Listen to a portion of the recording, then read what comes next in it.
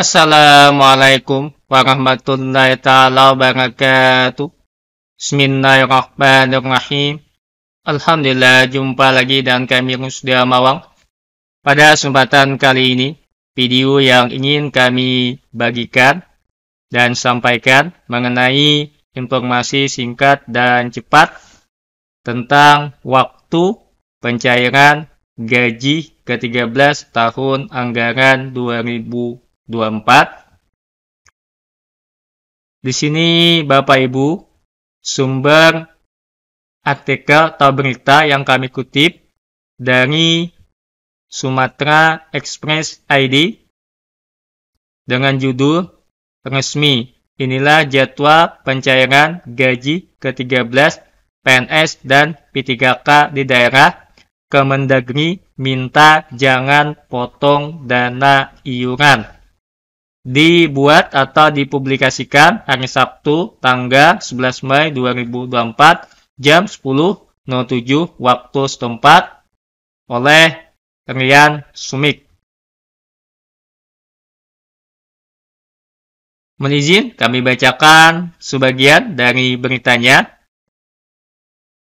Jakarta, Sumatera Express ID, Kementerian Dalam Negeri atau Kemendagri telah merilis surat keputusan TSK yang menetapkan pencairan gaji ke-13 bagi PNS dan P3K.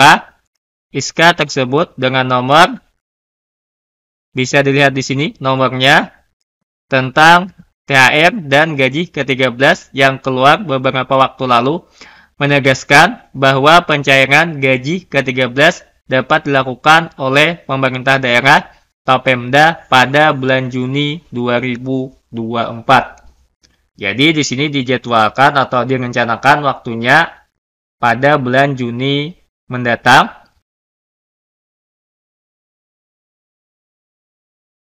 Menurut isi SK tersebut, gaji ke-13 tidak boleh dipotong dengan iuran atau potongan lainnya sesuai dengan ketentuan perundangan yang berlaku.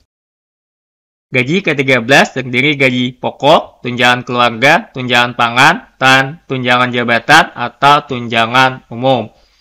Jadi di sini Bapak Ibu untuk gaji ke-13 tidak ada potongan apa pun, baik itu iuran atau potongan lainnya, ataupun potongan liar. Sudah jelas aturan dan regulasinya Bapak Ibu terkait masalah gaji ke-13. Untuk komponennya apa saja? Gaji ke-13 ini yang berhak diterima PNS atau P3K. Untuk yang bersumber berdasarkan APBN atau pusat biasanya terdiri dari gaji pokok, tunjangan keluarga, tunjangan pangan, tunjangan jabatan ataupun tunjangan umum, dan tunjangan kinerja. Tunjangan kinerja di sini sesuai pangkat, jabatan, peringkat jabatan, atau kelas jabatannya.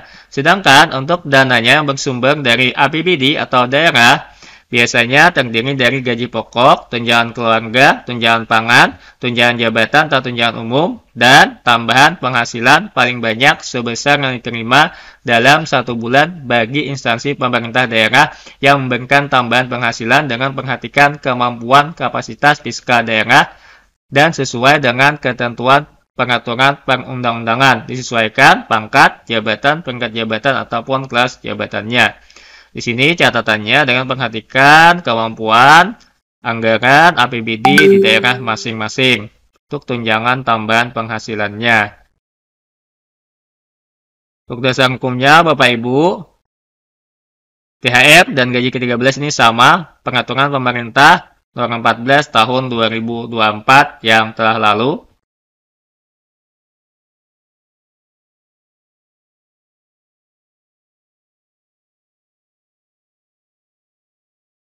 Di dalam PP itu juga dijelaskan Bapak Ibu untuk pencairan gaji 13 paling cepat pada bulan Juni 2024. Di sini juga disebutkan dalam hal gaji ke-13 belum bisa dibayarkan atau dicairkan maka setelah bulan Juni 2024 dibayarkannya. Ini saja informasinya bisa kami sampaikan pada kesempatan singkat dan cepat kali ini. Semoga segera bisa terrealisasi untuk pencairan gaji ke-13 di bulan Juni mendatang. Mohon maaf jika dalam penyampaian atau perkataan kami, penjelasan kami terdapat kesalahan atau kekurangannya. Akhirnya kami sudahi dengan wabillahi taufik wa Assalamualaikum warahmatullahi taala wabarakatuh.